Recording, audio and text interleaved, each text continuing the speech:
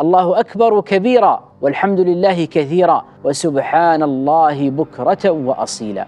إننا نستقبل عيدنا في هذا العام في ظرف استثنائي. ولكن تبقى فرحة العيد هي فرحة العيد. آه العيد هو طاعة ومناسبة. تكافئ نفسك أنك تقربت إلى الله تكافئ نفسك أنك تعبدت الله. هي شعيرة من شعائر الله. ماذا يمكن ان أن نفعل لنفرح أطفالنا وهم في البيوت؟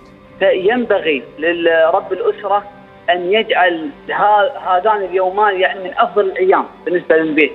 أنت أبرز مظاهر الفرح والسرور عندك بالعيد في بيتك نفسه. إذا كان في حد من يشاهدنا الآن اجمع أهلك وصل معهم. لصلاة العيد كما هي. شعائر العيد أول أيام العيد الساعة السادسة صباحا على قناة الريان.